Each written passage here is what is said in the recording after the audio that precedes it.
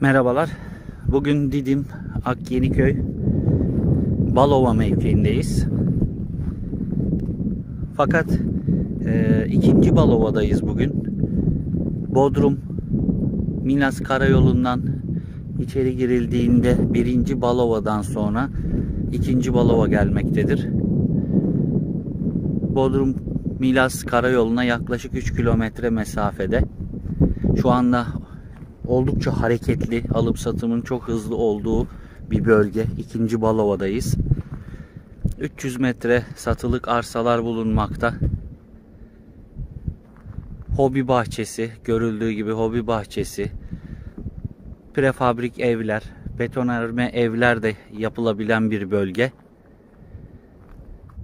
Alım satımın oldukça hızlı olduğu bir bölge. Sürekli arayanı, soranı olan bir bölge. İkinci Balova, birinci Balova'dan sonra gelmektedir.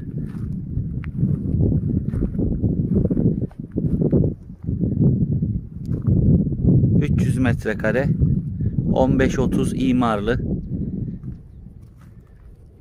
...2,5 kat imarlı...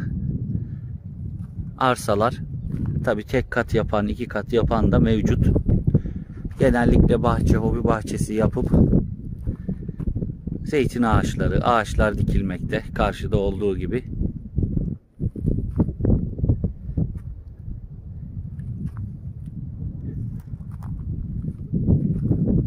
Burada nokta arsa veya tek arsa şu arsa diye bir tanıtım yapmak istemedik. Çünkü e, konumuna göre e, köşe olmasına, yola yakınlığına göre e, fiyatlar değişmekte.